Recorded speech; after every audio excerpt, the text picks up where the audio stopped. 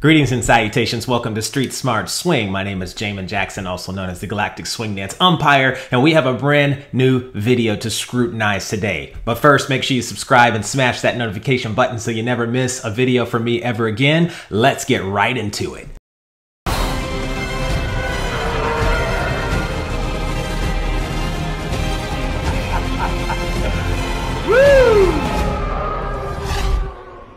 Okay, so thank you for whoever it was that let me know that this particular uh, competition was done in Kiev, which is great. I haven't been there, but I always wanted to go there, and I know a lot of people from there. So it looks like this one is a spotlight. Uh, I don't know if it's someone told me that the other one that they did, uh, another competition, which if you didn't see my reaction and my judgment on that one, I encourage you to check out the link below so you can see how I uh, uh, rated that one and who I like the best.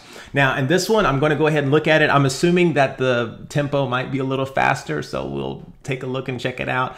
And I want to give you guys my unbiased opinion about who I think the winner is. And I'm going to not just tell you that, but I'm going to tell you why in a very um, structured way. All right, let's take a look.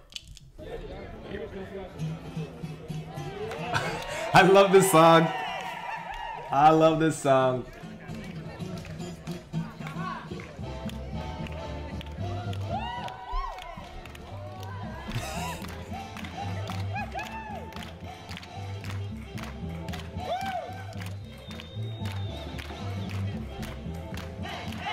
Some people don't like this song. They think it's a little campy and cheesy, and it is. But I still like it because that tempo and the rhythm section is really good.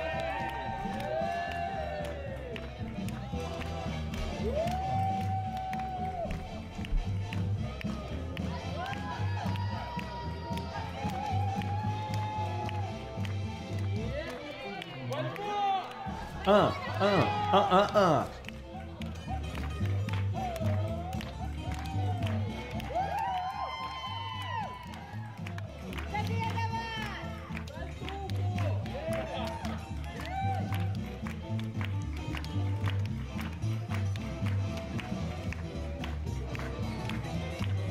They went the other way.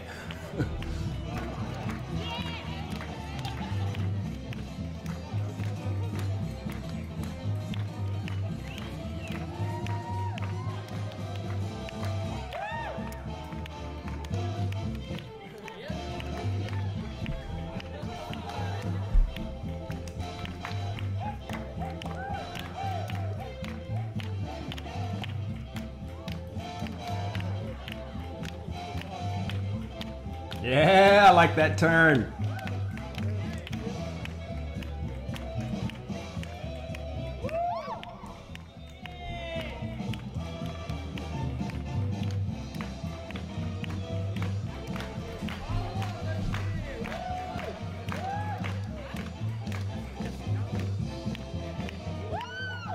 There we go.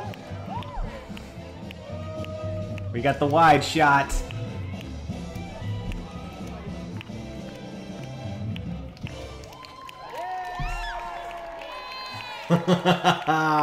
yes, that was good. That was good, guys. Uh, ooh, that's cool. It's outside. I didn't realize it's outside, and there is an audience. I didn't know if there was an audience or not on my last critique. Good job, guys. That was great. I was entertained. I got a little bit of chicken skin because of the song primarily. I love that song. Um, so let me tell you guys a little bit about, uh, before I tell you who I thought was the winner of this competition, let me tell you about my philosophy as a judge whenever the tempo is fast and I'm judging an intermediate advanced type level competition. Obviously, many of you all understand my approach to judging, which is I try to be the most objective as possible, which is really hard, is impossible if you don't really define the parameters of what's actually being judged. And so the three things that I look at is control, which basically means can you control the technique? Can I see a leader give energy to the follower and it look as if they both are doing their roles without canceling each other's roles out? Second thing I look for is timing. Now, timing is something that really is just a way to embellish the music. Can I see the dancers amplify something in the music um, that is more pronounced? So if I was a novice viewer uh, in the audience, I could appreciate both the music and the dancing more.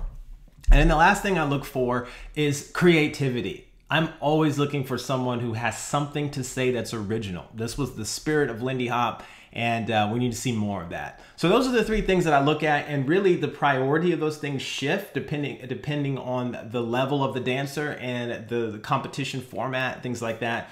When it's fast like this, my priority shifts to who can do the control part the best because you don't have a whole lot of time to do a lot of embellishment. I mean, you're just trying to keep up with your partner and your partner's trying to keep up with you. It gets pretty crazy. So the main thing I'm looking for is control. I want to see can a leader be disciplined enough to do their role and can a follower be disciplined enough to do their role? And how well can they work together with this tempo so that it looks entertaining, but more importantly, it looks controlled. So let me tell you which uh, couple I liked the best for this particular uh, competition. I don't have a drum roll, nor do I want to blow your ears out on my microphone by making one. But I will tell you, it was not as tough as I thought it was going to be in terms of rendering judgment on this competition. It came down to two uh, two couples. My my second place couple. Let me just go ahead and show you guys them. They were pretty good. He had a green shirt on. She had red shirt on, green pants. I don't know if they coordinated or not, but that was really cool. But I like uh, when they come out. Obviously, they're just cool and relaxed. But I can tell where they're at as soon as they broke out in that first swing out. If I can see the positioning of the swing out happen uh, in a very clean way then I know the, the result of the swing out's going to work. If I see the leader getting to that position of what we would call four for a swing out is eight counts, that fourth position, if they're in the proper position, the proper alignment there, um, then it's pretty easy for the leader to move out of the way for the follower. And that's the hardest part about that swing out is making sure that technical aspect is there so that if you're intending for uh, a swing out to go in a straight line, that could happen. If you don't get into that position, what ends up happening is just this never ending circle of just craziness, and both you and your partner are sick. Or maybe you're just happy and your partner's just losing it, wh whoever that might be, leader or follower. So um, they were my second place. I liked them because they simply had control of the technique. They really had control. They didn't have a lot of time uh, in their set, which I, I don't know why that was. Maybe it was the intro that they came out on. Um, you know, they didn't do anything. They didn't come out with swing outs on that intro. But uh, I will say I liked what they had to do. Now, my first place uh, couple, really, this was uh, the one I liked the best. Now, they, uh, she had like all black on with the red shirt. He had like a like a maroon shirt and tan pants. As you can see here with them coming out, yeah, it's just like, where, where are you guys at?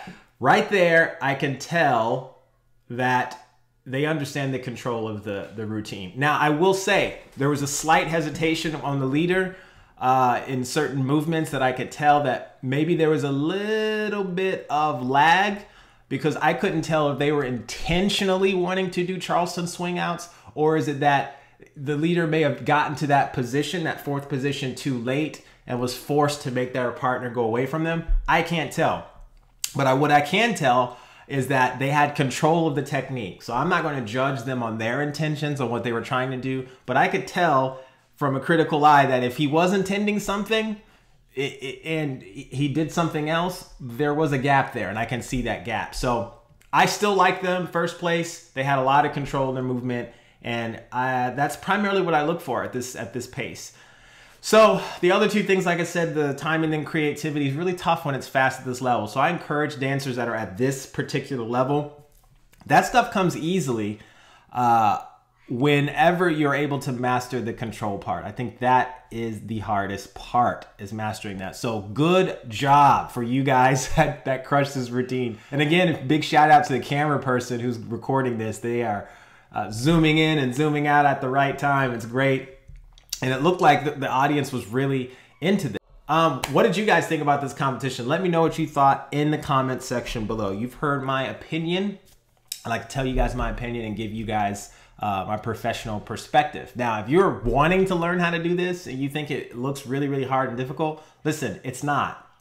What's difficult is knowing what's absolutely mandatory and those things that are not when you're going through the learning process. So if you're interested in learning how to swing dance right where you're at at your home, I encourage you check out some of my free courses below. They will help you really just kind of deconstruct uh, the complication of it and be able to take some basic principles and apply them to swing dancing so that you can really speed up your learning process. So a lot of fun with those classes. So absorb that and uh, hopefully you uh, are able to go dancing in your community at some point. With that said, if you guys uh, haven't subscribed already, make sure you do that. Let me know your comments below on who you thought should have won this competition. If I don't see your comments below, hopefully I get a chance to see some of you in my class online. Take care.